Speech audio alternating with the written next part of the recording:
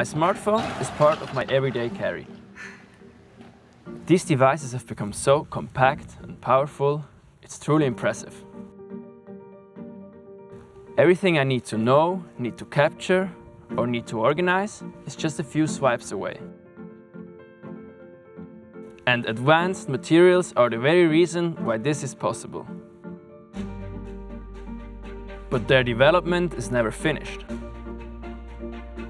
To promote true innovation, one needs to understand the essence of materials, their fundamental properties. My name is Matthias Fernandez and I'm a material scientist at ETH. In our lab we research materials with innovative techniques and unmatched resolution. We work with the tiniest bits of material, individual atoms,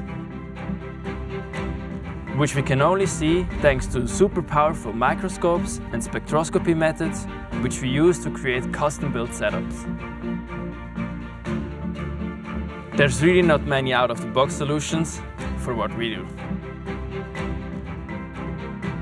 With these setups, we investigate the electronic and magnetic properties of materials created through the assembly of single atoms, one by one. And this, of course, is all part of a bigger plan. With deeper understanding of how materials behave at the nanoscale and below, we will be able to develop even faster and more efficient devices. Or, you know, maybe promote the development of even smarter phones. I like the idea that one day there's going to be better technology around my research has contributed to that. That would be amazing.